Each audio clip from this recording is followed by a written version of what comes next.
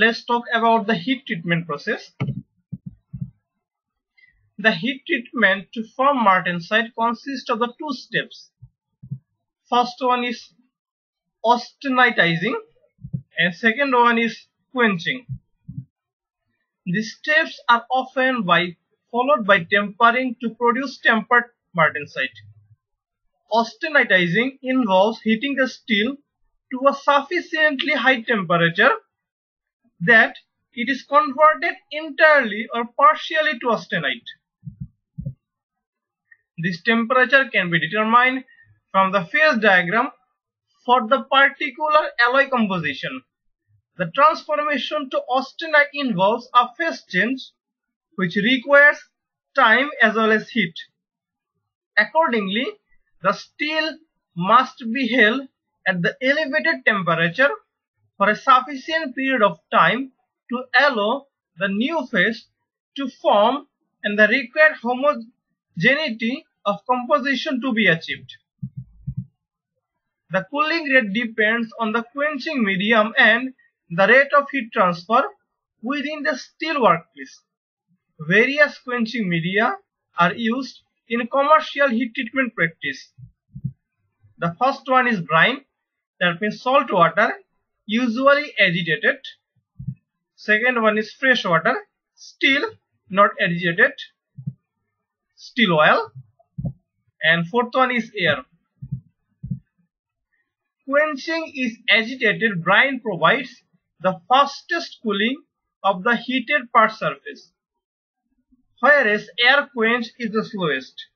Trouble is, the more effective the quenching media is at cooling, the more likely it is to cause internal stresses, distortion and cracks in the product. The rate of heat transfer within the part depends largely on its mass and geometry. A large cubic shape will cool much more slowly than a small thin sheet the coefficient of thermal conductivity K of the part particular composition is, is also a factor in the flow of heat in the metal. There is considerable variation in K for different grades of steel. For example, plain low carbon steel has a typical K value equal to 0.046 joule per second, whereas a highly alloyed steel might have one third that value. Martensite is, is hard and brittle. Tempering is a heat treatment applied to hardened steel to reduce brittleness, increase ductility and toughness and release stresses in the martensite structure.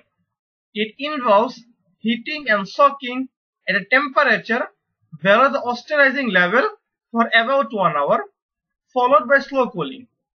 This results in precipitation of very fine carbide particles from the martensitic iron carbon solution and gradually transforms the crystal structure from BCT to BCC. This new structure is called temper martensite. A slight reduction in strength and hardness accompanies the improvements in ductility and toughness.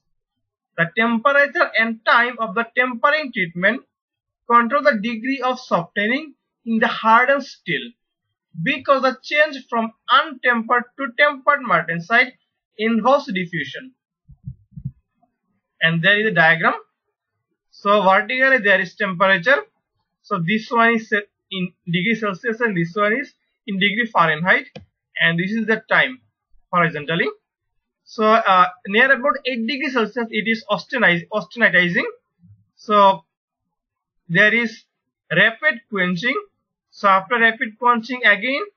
The temperature is increased and just below the 400 degrees Celsius it is called tempering. And after tempering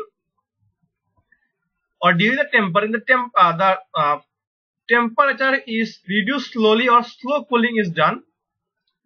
And there is a figure how quenching is performed and the specimen is a specimen and the length is 102 millimeter and the diameter is uh, 25.4 millimeter and the water is supplied and the temperature of water is 24 degrees Celsius or 75 degree Fahrenheit. And there is another diagram. This is uh, hardness versus distance from the quench end. And thank you for being with